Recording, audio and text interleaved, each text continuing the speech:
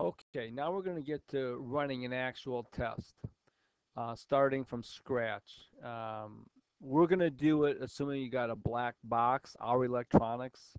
If you have a Superflow Flowcom, you know, it's going to be very similar. If you're going to do things manually, um, we're going to show you a lot more stuff than what you need, but the idea is basically the same. So if you're running a test, if you're starting from scratch and have never had the program before, it's not too important what test you have here on the main screen opened up before you start your test. Once you start running your test, and let's say you have a certain pattern of how you do things, you have your small block Chevy test and a small block Fords and stuff. When you're running a new test, it's best to open up an old test that's going to be very similar. You know, it's going to have all the port sizes, the valve sizes. It's going to probably have the ranges on your flow bench you use, the lifts and the LVDs. All this stuff is going to be there and that's going to be a very nice template for you to start your new test. But we're going to assume you're starting from scratch. Now, in the book, nobody wants to read the book, but here on page 111, we example 4.1. All of chapter 4 is good for you to at least breeze through and look at the pictures. And it, it tells you how to start different types of tests. But you can also see, you can also see here in Appendix 7, we talk about the new EZ Start Wizard we add in version 3.5. And we know no one's going to read the book anyway, so we have this new feature we put in.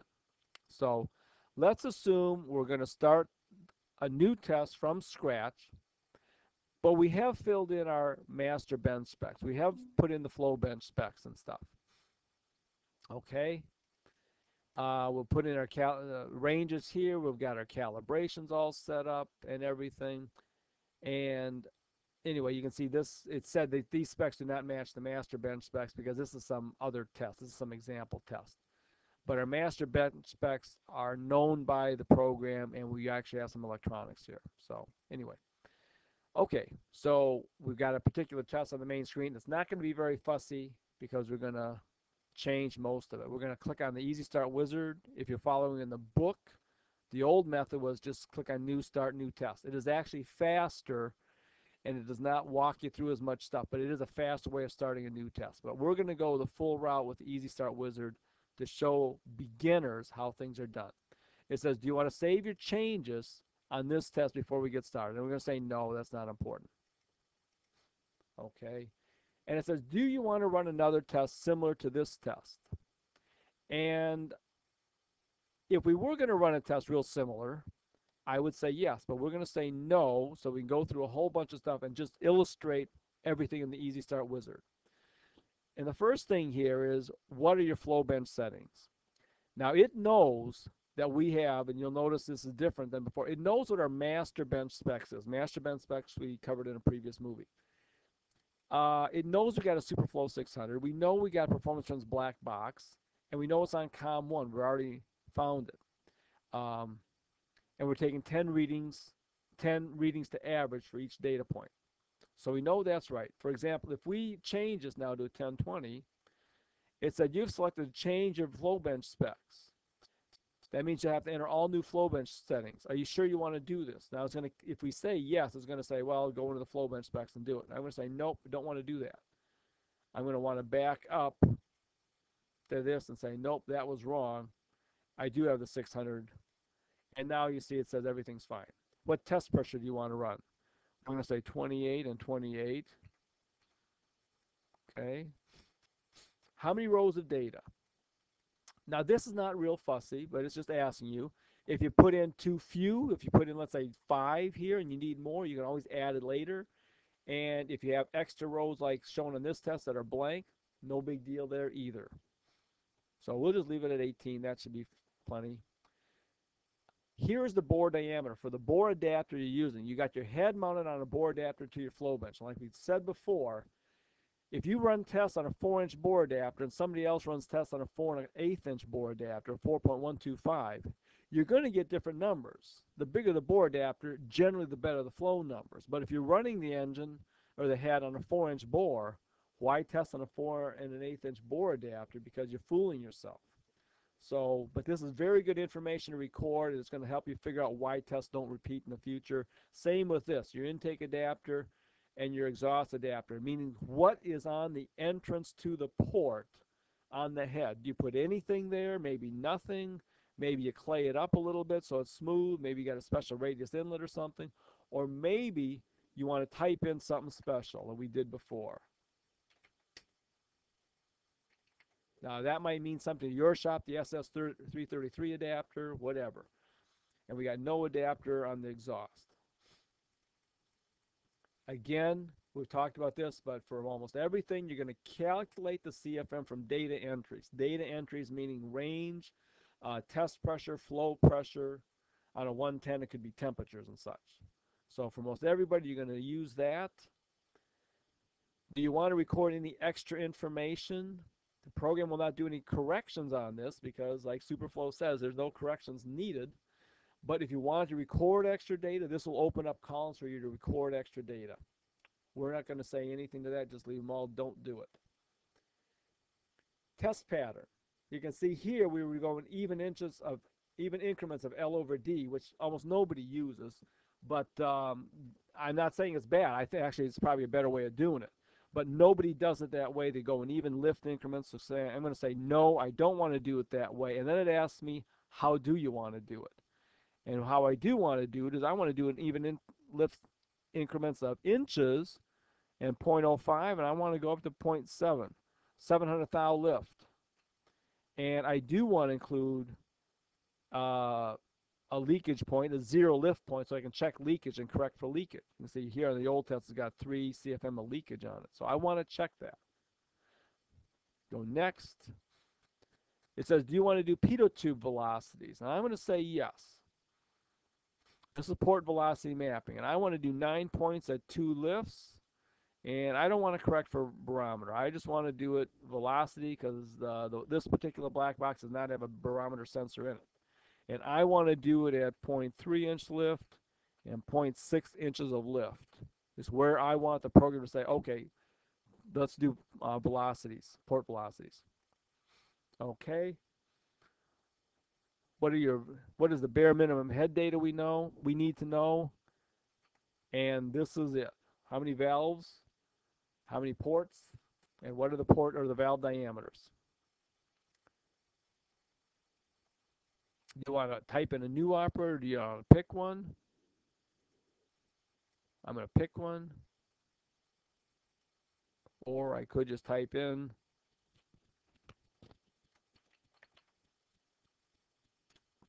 could just type in Kevin, put a head number in. Like I said, some shops are very fussy. They have a particular format for their head number. And you just can't type in a number. You got to be use a particular data format. So we have this screen here, and there's a preference to force you through that method to make sure you got head numbers that are always consistent with how your shop might have head numbers set up. And here, I want to add a new test because this, I want to put in Jones because this head belongs to our customer Jones, and I want to keep all his heads separate from everybody else's. So now you can see I've added Jones as a new folder, and that's where this test is going to be saved. Now, test comments. You can type them in here anytime you want, change them anytime you want, but this just is saying, what do you want to do to them?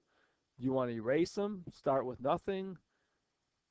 Do you want to uh, restore the original comments, and maybe type in something new to carry over into the new test. So it's whatever you want. I'm going to do this. Um, I could have blanked it out, I guess. So I'm going to restore the original. There they are. And uh, and I don't know. You, you could you get the idea. But anyway, that's the last thing that's going to happen. You click on finish. We're going to start a new test. And there you can see our lift and L over Ds are in. Our ranges are blanked out. Test pressure and stuff is all blanked out. But we have all these velocity reading points. We can enter velocity readings. Now we're only going to, it's only going to allow you to do it at 3 tenths of an inch and 6 tenths of an inch lift. But anyway, so now we've got our new test started.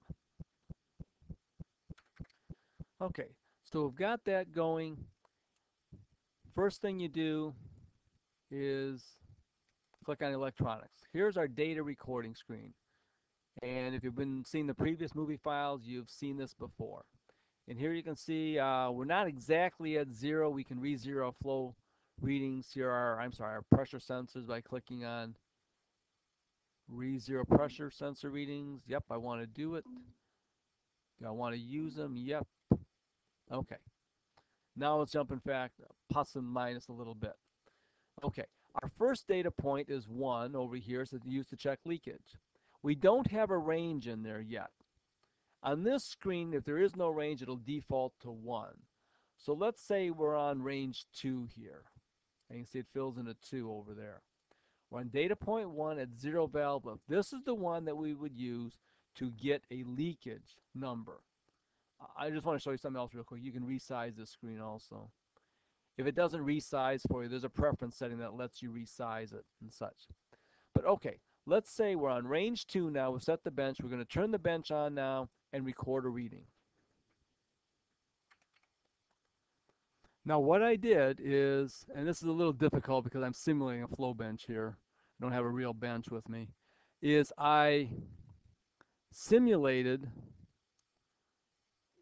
uh, the conditions, and you can see here, I got 5 CFM, which is very high leakage number, but it's saying basically we got um, 5 CFM of leakage on range 2. So what you would do then is close the screen out, type in 5 here for leakage, and you see as soon as you do that, it drops the CFM reading down to zero here on this first point because at zero lift, you should not have any flow. So that's how it works. Typically, you're going to have readings much more like one or two CFM, not up around five, but it's just because I'm simulating things here and I want to save some time getting going here. So anyway, let's go back up here. Now that we've typed in leakage for that first point, and we're going to want to go to the second data point here. And the second data point is at uh, 0.05 lift. And we're still in range 2, and we're going to get some real numbers for that. Okay, so we got some real data coming in here. And all you do is you've got the, um, the range set. You're on data point 2. Just press the F1 key. And you can see here in the upper left, it is recording the 10 readings up there. And then it just automatically jumps to the next point. So it's at the next point, and let's say this happened to be on range 3. So make that change here. Now you would not have to be making this range change if you had a pattern, you'd copied a pattern. But because we're starting from scratch, we have to tell it this stuff. So let's get a data point here, and again, we just press on F1, and watch up here in this point when we press F1. It's telling you it's recording 1 of 10, 2 of 10, etc and there's just not jumping to the next data point. And if we slide this out of the way, you can see we're filling in our data here, and we're drawing our graph over here. Now, because I'm just simulating this without a flow bench, we're getting goofy looking numbers over here. But it's, it's giving you the idea how it works. So you just go through this, and I'm just going to uh, record F1. Let's say I had the new valve lift set, and I had set it back to 28 inches and we're still on range 3. I set up the new valve lift of 0.2. I tell it we're still on range 3. We're on data point 5, as you can see over here. So basically we're just setting the lift and dialing in the test pressure back to about 28. We're going to set the lift to 0.25, set it at 28, press F1. And you can see here on our graph, we're getting a very strange looking flow curve, but that's because I'm simulating things here. Now, we're at 3 tenths of an inch lift. We're going to record the data at this point. Maybe now we're up to range 4. We tell it that. Press F1. And when it gets done here, when it gets done here, it's saying, do you want to record your point velocities for a 3 tenths of an inch lift? click on cancel and it won't ask you again on this port if you want to record this anymore. You could have also done it beforehand up here, clicked on port velocity before it prompted you for this, and it would have said which point, six tenths or three tenths, and it would have filled in the data then. But let's say, yes, I want to do this now. Okay.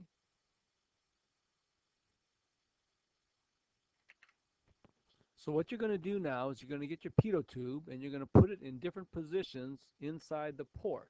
I'm going to shrink this up a little bit.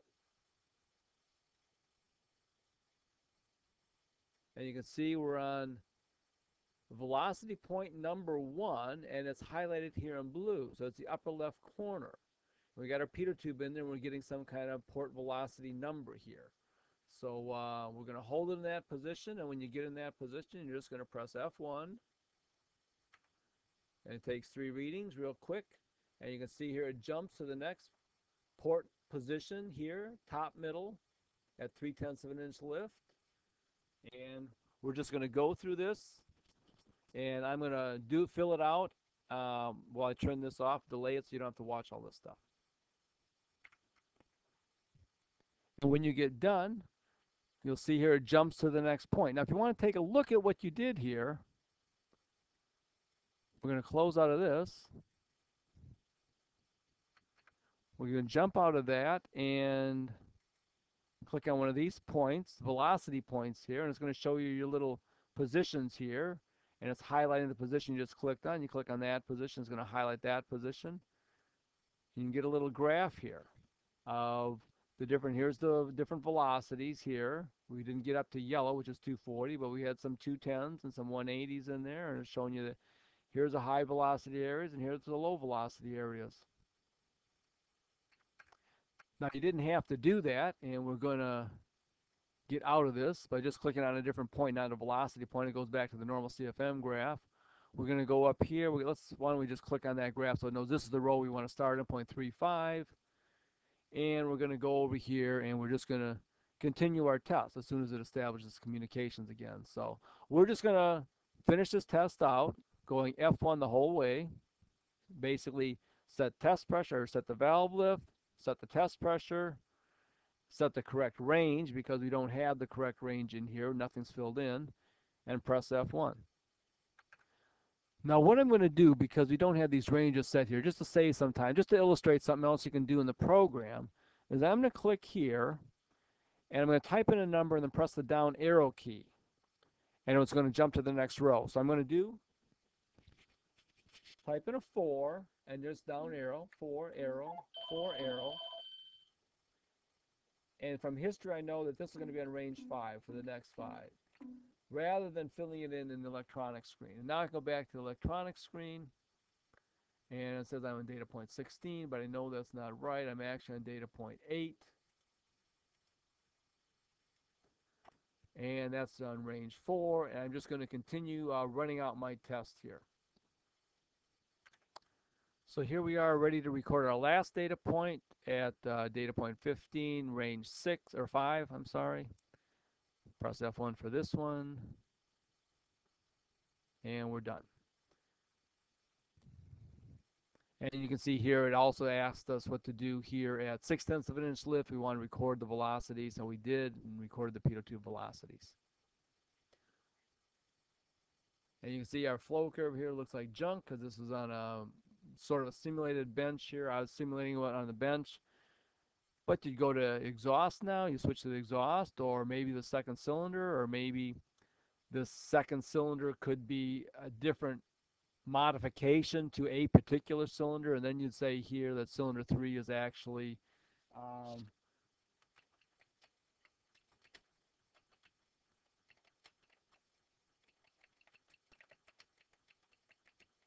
something like that so you can keep track of your notes. It's uh, really important to keep good notes when you want to go back and see what did you do. These notes up here are real important. So maybe if you just wanted to do uh, no exhaust on this, maybe just testing a, an intake port. So you clayed up the short turn radius, you go up here, and you just start over again. Now what happens here in the program, because you had ranges on the previous port, it will now copy them over to the second port. If you went from range uh, intake cylinder one to three, and there was range information in one, I'm sorry, it will copy it over to three. So you can see we're trying to save you steps and think ahead for you. So here we got our ranges. So now all you got to do is, assuming that the ranges are the same, you just uh, set your test pressure, set your flow pressure. I'm sorry. Set your valve lift. Again, we should check leakage because it could be different here. Or if you know it's going to be the same, you just type in the 5. Just carry over the 5 that you had from this one. Just type that in as 5. I'm sorry, 5. And then enter. And, uh, and just go. And just um, go up here and start recording your data. Now, we don't want to record data point 1, or you could if you want to record leakage, but go to data point 2 and um, start recording your data. So that is basically how you run tests. Close out of that screen. Let's say you got done with this thing. The thing you want to remember, this is a very good habit on all software. When you've recorded some data, do a save. If you click on save, it's going to save it to the same name. If for some reason you want to do a save as, it'll ask you for a new name, and then you could say put a 2 on the end so it knows that, or maybe 3, that this is now I'm going to start working on cylinder 3. So it's a very good habit to get in. And you'll see once in a while saving to temporary file. What that saving to temporary file little message box that comes up here once in a while is the program is always saved, not always, but once in a while we'll save a backup copy. So if the program dies, your computer dies or something, you go back in and it's going to say, do you want me to restore the test? All the data as best it can to where you were right before it died. So that's something good to know too.